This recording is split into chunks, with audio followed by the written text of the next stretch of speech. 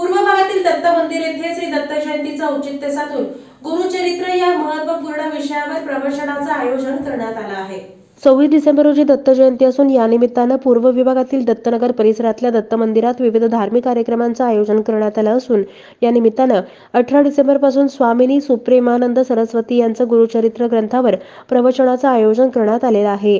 यावेळी दत्तात्रय सिंगम गणेश देवसानी श्रीनिवास कामठे दामोदर माचरला श्रीनिवास गरदास किशोर देवसानी यांची प्रमुख उपस्थिती होती. या प्रवचनाला परिसरातल्या महिला भक्तगण उपस्थित होत्या.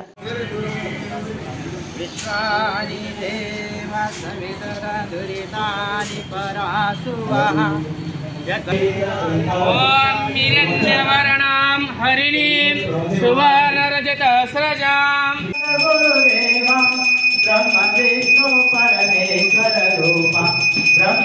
गो परमेश्वर रूपा आनन्दानिलया ओम जय जय गुरुदेवा स्वामी श्रीपाद गुरुदेवा स्वामी श्रीपाद गुरुदेवा।